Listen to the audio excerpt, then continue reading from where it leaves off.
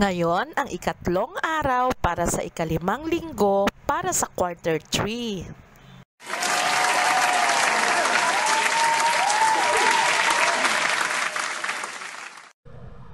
Ito ang kalendaryo ng buwan ng Marso ngayong taong 2022. Ngayon ay ikasyam ng Marso 2022. Ngayon ay araw na ng Miyerkules. Yung araw na ito, sasamahan natin si Wendy kasama ang mga bilang isa hanggang dalawampu. Handa ka na ba? Isa, dalawa, tatlo, apat, lima, anim, pito, walo, siyam, sampu labing isa, labing dalawa, labing tatlo, labing apat, labing lima, labing anim, labing pito, labing walo, labing siyam, dalawampu. Kaya mo na ba itong bigkasin? Halika, samahan mo ako uli sa pagbigkas ng mga bilang isa hanggang dalawampu. Isa dalawa, tatlo, apat, lima, anim, pito, walo, siyam, sampu, labing isa, labing dalawa, labing tatlo, labing apat, labing lima, labing anim,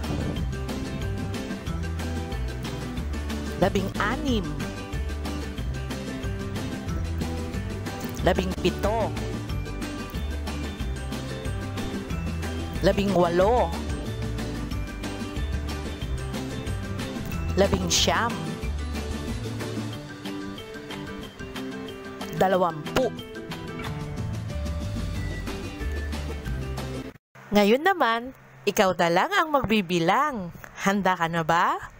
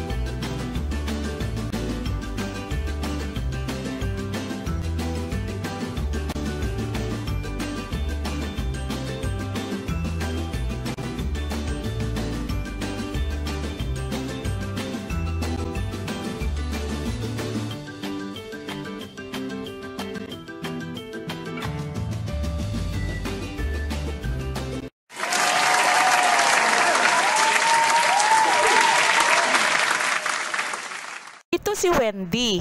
Nawawala ang aso niyang si Whitey. Maaari ba natin siyang tulungan?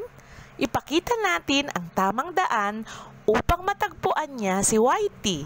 Hanapin natin ang sunod-sunod na bilang isa hanggang dalawampu at idugtong ng linya gamit ang ating lapis.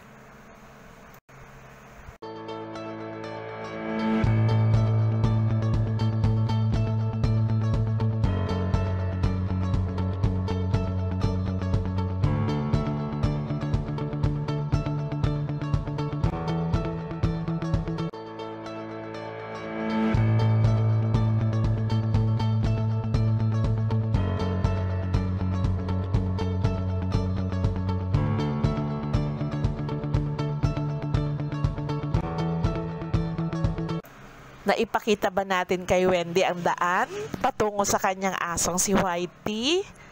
Subukan nga nating bigkasin at bakatin ang bilang isa hanggang dalawampu gamit ang kulay berdeng Crayola.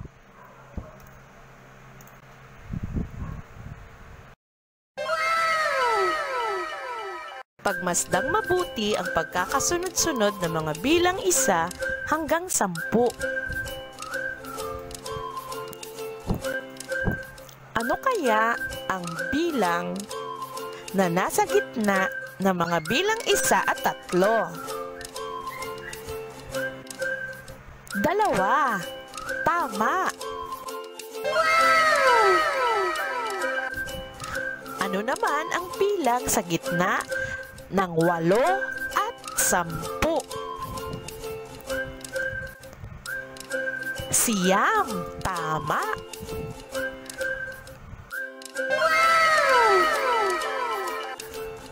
Ano namang bilang sa gitna ng anim at walo? Pito, tama.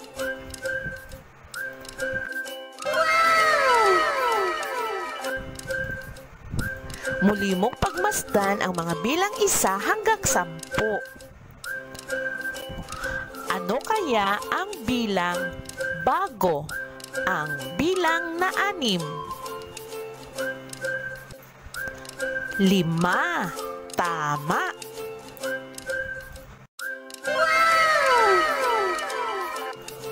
Ano naman kayang bilang ang nauna bago ang bilang na apat?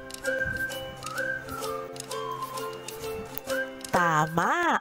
Tatlo.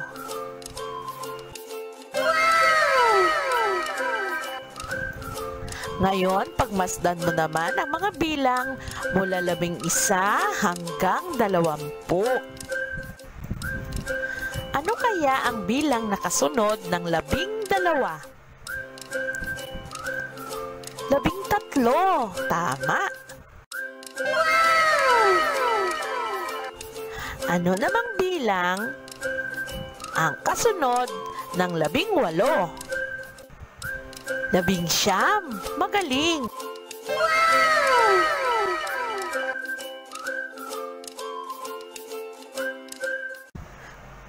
Ngayon, sabay-sabay tayong magbilang ng mula isa hanggang dalawampu.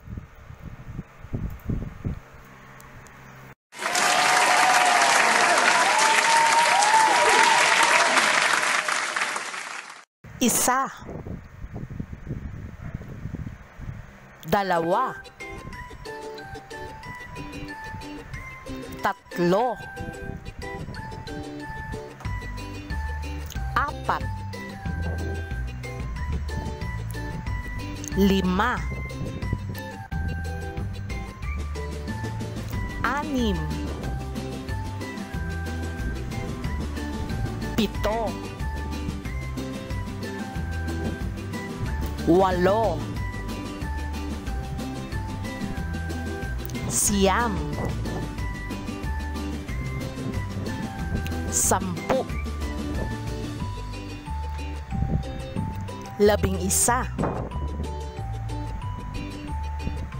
Labing dalawa. Labing tatlo. Labing apat. labing lima, labing anim, labing pito, labing walo, labing siyam, dalawampu,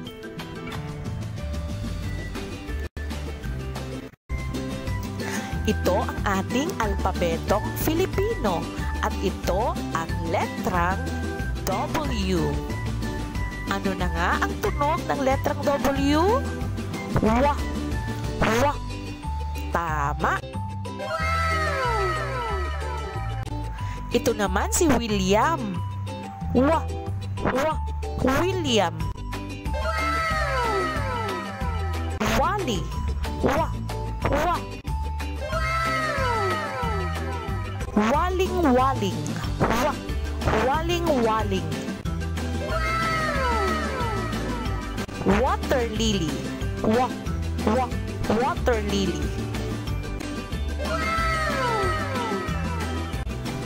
Walis.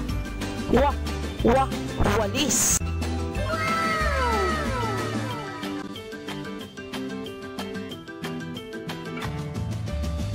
Wa. Wa. Walo.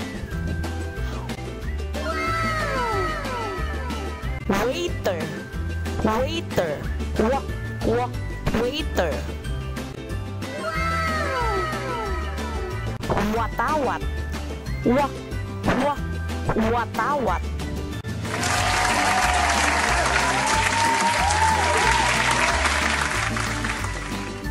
Basahin natin ang mga pantig ng W. Wa. We. Wa. Alin ang naiiba? Wa. We. Wa.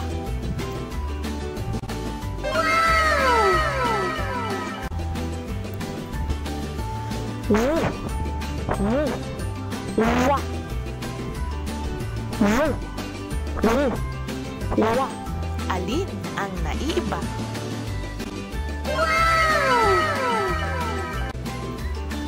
Wi. Wo. Wo. Wi. Wo. Wo. Alin ang naiiba? We. We. Wi. We. We. Wi. Alin ang naiiba?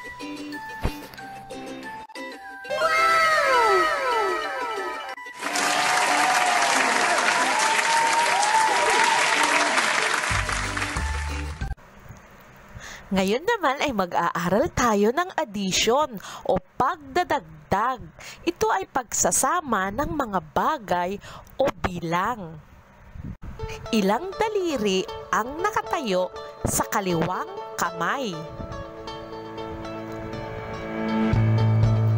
Dalawa. Tama. Ilang daliri naman ang nakatayo sa kanang kamay? Isa. Pagsamahin mo nga ang dalawa at isa, ilan kaya lahat?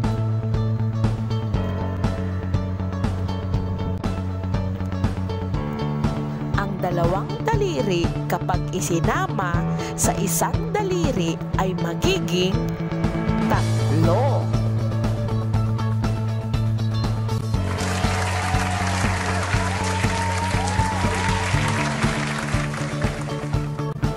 Ilang daliri ang nakatayo sa unang kamay? Dalawa. Ilang daliri ang nakatayo sa ikalawang kamay? Dalawa. Tama. Ang dalawang daliri kapag isinama sa dalawang daliri ay magiging apat. Magaling!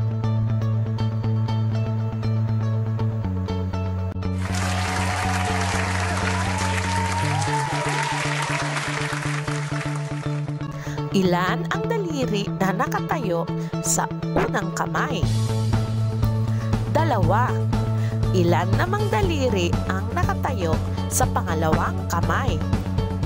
Tatlo. Ang dalawa kapag dinagdagan ng tatlo ay nagiging lima. Magaling!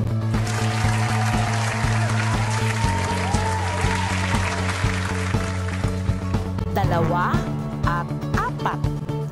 Pag pinagsama ay anim.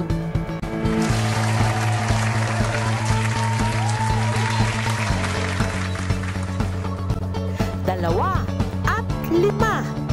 Pag pinagsama, magiging pito. Magaling!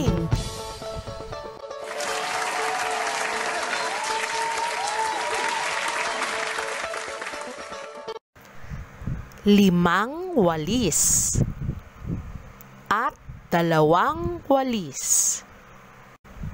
Pag pinagsama ay magiging pito.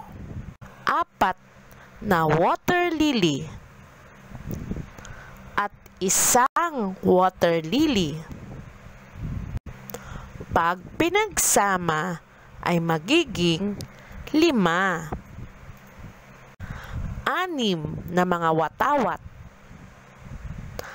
at dalawang watawat. Pag pinagsama ay magiging walo. Para sa mga gawain sa araw na ito, iugnay ng linya ang mga bilang sa katumbas na larawan.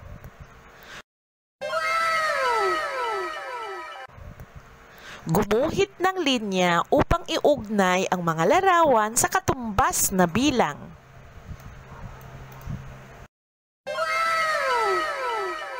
Bilangin ang mga bagay sa loob ng kahon at bilugan ang katumbas na bilang.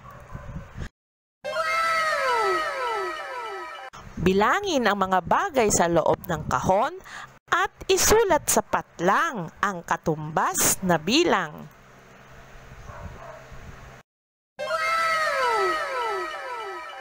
Kumpletuhin ang hanay. Isulat ang nawawalang bilang.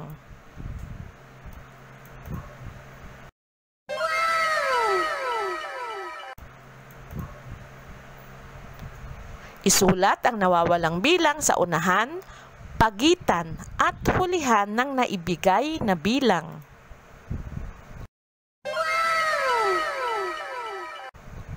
Isulat ang mga bilang ayon sa tamang pagkakasunod-sunod. Pakinggan at unawain ang maikling kwento. Sagutan ang mga tanong.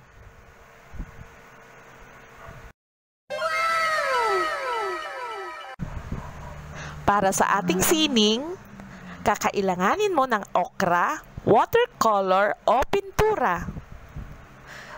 Tanggalin ang pinagpitasang bahagi ng okra, ilubog sa pintura o watercolor, at gumawa ng bulaklak batay sa mga bilang na makikita sa unahan ng bawat hanay.